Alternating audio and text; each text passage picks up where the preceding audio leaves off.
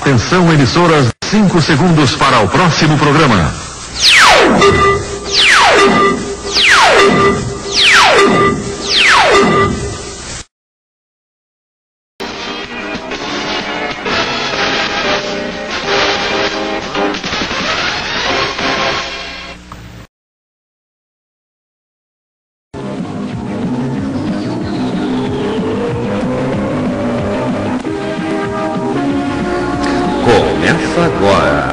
Jornal André Amorim, um jornal cheio de notícias até o fim.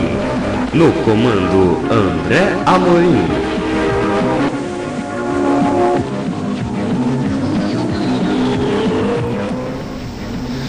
Olá, muito bom dia, boa tarde, boa. Brasil! Tudo bem com vocês? Tudo bem? A partir de agora, Jornal André Murilo. Jornal cheio de notícias até o fim. Edição 1756 de hoje, sábado 15 de outubro de 2011. Vamos às manchetes. Aliás, para quem não sabe, dia 15 de outubro é dia do mestre, tá, gente? É. Na sessão ataque, Elano acusa a ex de divulgar fotos íntimas. Na sessão ataque, com R10, Fla enfrenta seu carrasco. Ceará. Um terço de bares e restaurantes guarda gás de forma ilegal. Na sessão de mulher, Vanessa não perdoa Rafinha. A dor no enterro de um amigo. Você vai saber a respeito é, de jovens vestindo camisas com a foto de Josimar, né, morto na explosão na Praça Tiradentes. Estas e outras notícias de capa de um dia você vai saber junto com algumas notícias do site O Fuxico e com uma notícia do site protejateusfilhos.org. Jornal André Marinho começa agora. Estas e outras notícias você vai saber logo mais no Jornal André que já está no ar para você.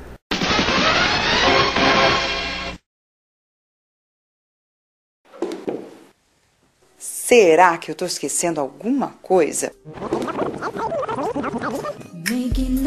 Loção hidratante Hidra Mais. Mais hidratação e proteção para peles ressecadas. Mais tempo de ação e mais economia. É mais suave e deixa a pele mais perfumada. Agora você não esquece. Aliás, o meu corpo nunca esquece. Hidra Mais. Uma experiência inesquecível.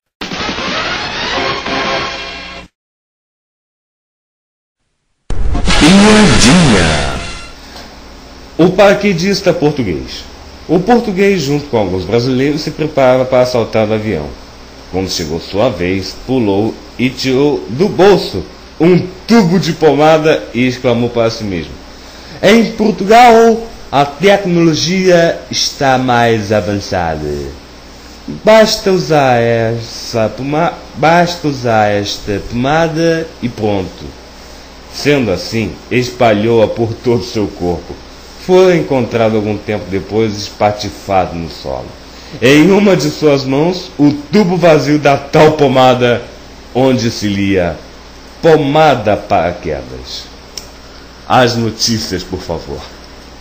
101.1 CBS FM. Jornal André Amorim. Oi, oi, oi, oi. Jornal de até o fim. Aê! E agora, no Jornal André Amorim, a notícia mais quente do dia. Um terço de bares e restaurantes guarda gás de forma ilegal. Conclusão é do Corpo de Bombeiros, responsável pela vistoria. Cilindros e botijões estão escondidos até no subsolo. Detalhes nas páginas 4 e 5 do dia. A dor no enterro de um amigo. Jovens vestindo camisas com a foto de Josimar dos Santos Barros, de 22 anos, se desesperam no sepultamento do sushi man, morto na explosão do restaurante na Praça Tiradentes. Enterros do chefe de cozinha, Severino Tavares, de 47 anos, e do bancário Matheus Andrade, de 19 anos, foram marcados pela indignação. Detalhes nas páginas 6 e 7 do dia. Na página 12, na seção Rio de Janeiro, decretada a prisão de ex-coordenador da Operação Lei Seca. Na página 14, na seção Rio de Janeiro, PMs também queriam assassinar policial que matou ou que namorou o juízo.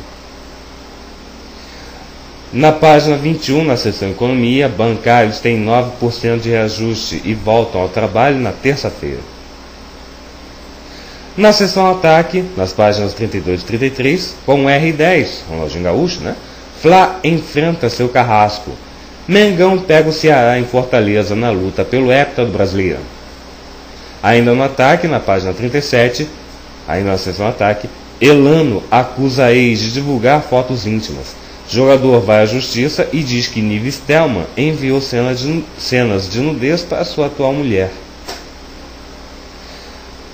Na seção de mulher, nas páginas 54 e 55, na coluna de Léo Dias, Vanessa, que é a Vanessa Camargo, né? não perdoa Rafinha. Além de entrar com processo pedindo, indenização por danos morais, cantora vai acionar ex-CQC criminalmente. É, Rafinha Bastos que, que acabou de sair da Band, é verdade. Ele rompeu o contrato com a Band. Né? É, o Rafinha Bastos que disse que, que comeria a Vanessa e o filho. E disse que não estaria nem aí no programa CQC. Né? depois de uma matéria do CQC, né, e, e, em que um repórter do CQC entrevistava a Vanessa é, é, numa reportagem. Né. Aí o Marcelo Taz estava, o, o Marco Lucas estava, e o Rafinha Basso, é, nos momentos de comentário, ele disse assim, eu comeria a Vanessa e o filho, não estou nem aí. ai, ai, ai. Na página 31, na seção saúde, horário de verão começa hoje. Relógios têm de ser adiantados à meia-noite. Aliás, logo mais à noite vou adiantar os relógios do computador, ou relógio do computador e os relógios daqui, de casa. Hein? Antes da meia-noite. Sim, e inclusive hoje eu vou para casa da minha namorada Maria. É, logo mais à noite. E agora, as notícias do site protejasseusfilhos.org. Novo processo contra o Vaticano e altos hierarcas por violações sexuais por parte de sacerdotes pedófilos. Bélgica, 70 vítimas de pedofilia clerical processam ao Vaticano. O novo processo coletivo contra o Vaticano e altos hierarcas dessa organização religiosa foi apresentado por um grupo de 70 pessoas que, em sua infância, sofreram abusos sexuais e violações por parte de padres pedófilos na Bélgica, segundo se lê no Jornal Digital. A advogada Christine Musch explicou que formalmente é, representa a quem asseguram haver sido violado e vexado por parte de eclesiásticos católicos o objetivo do processo é demonstrar a responsabilidade civil da Igreja Católica na pedofilia sacerdotal e pedir uma indenização por danos e prejuízos, ainda que também a advogada já está preparando um processo penal. O processo está sendo dirigido contra bispos e altos cargos da organização católica na Bélgica, mas também no Vaticano. Segundo as mesmas orientações do processo de SNAP, que considera que participaram no encobrimento generalizado e sistemático de violações e crimes sexuais contra meninos em todo o mundo. Na Bélgica, a justiça investiga os casos de pedofilia clerical que poderia haver afetado a vários, centenas de a várias, ou a várias pessoas, né? Centenas de menores, já que ao momento tem, já que no momento tem documentado mais de 475 denúncias por abusos sexuais por parte de religiosos e 13 de suas vítimas se suicidaram. É, tenha certeza, estimado leitor, que estes dois processos contra o Vaticano são os primeiros de centenas que virão nas próximas semanas e meses. E não duvide, porque todos prosperam. Todos. Este não é o início do fim do Vaticano, é o princípio do epílogo de sua história. E agora, as notícias do site O Fuxico. Vanessa e Marcos Boas processam Rafinha em 100 mil reais. O casal entrou com um pedido nesta quinta-feira. Vanessa Camargo e o marido, o empresário Marcos Buais, entraram com um processo por danos morais contra Rafinha Bastos nesta quinta-feira, dia 13. De acordo com o site consultor jurídico, o casal pede 100 mil reais de indenização ao humorista por causa do comentário maldoso que fez com ele, ou melhor, que fez ele com a cantora, dizendo que comeria ela e o bebê. No processo, os advogados de Vanessa e Buais, Manuel Alceu Alfonso Ferreira, ou Manuel Alceu Afonso Ferreira e Fernando Nogueira Camargo Parodi, dizem que Rafinha é conhecido por suas frases ofensivas, como no caso de estupro e declarações sobre o ator Fábio Assunção. Na petição, os advogados do casal alegam que o comentário sobre a cantora feriu os valores da família e ignorou a condição de casada dela. Ainda segundo a petição, a situação de Rafinha Bastos se agravou porque ele não pediu desculpas e sim se envaidecera com o caso. Por causa do comentário, o humorista está há duas semanas afastado da bancada do CQC. Aliás, há quem diga que o Rafinha Bastos é, tenha pedido demissão da Band. É, exatamente por causa dos comentários é, um pouco mais é, contundentes. É. E agora, a última do jornal André Amorim. E a última do jornal André Amorim, um jornal cheio de notícias até o fim. Aline Rosa publica foto direto da fisioterapia. A cantora torceu o tornozelo durante um show da banda Cheio de Amor. Na tarde desta quinta-feira, dia 13, a vocalista da banda Cheio de Amor, Aline Rosa, sofreu muito durante uma sessão de fisioterapia para tratar de seu tornozelo esquerdo que foi torcido durante um show. Em sua página no Twitter, a cantora, a cantora, publicou uma foto tirada durante a sessão e aproveitou para parabenizar os profissionais que comemoraram o dia do fisioterapeuta. No dia do fisioterapeuta, eu estou aqui fazendo fisioterapeuta no tornozelo torcido. Que dó, que dó, escreveu a artista em sua página na rede social. Na foto, a Aline aparece deitada de lado, tapando o rosto com um braço. A Aline também está com alguns aparelhos ligados ao seu tornozelo esquerdo. A cantora machucou o pé durante o show Summertime no Bahia Café Hall, em Salvador, realizado na última terça-feira, dia 11. A notícia do ferimento foi dada pela própria cantora em sua página na rede social. Minha gente, fui ao médico agora ver o meu tornozelo. Torci mesmo, torci, on, torci mesmo ontem no show. Vou ter que ficar de botinha. Que dó, que dó, que dó. Escreveu a Aline na quarta-feira, dia 12, no Twitter.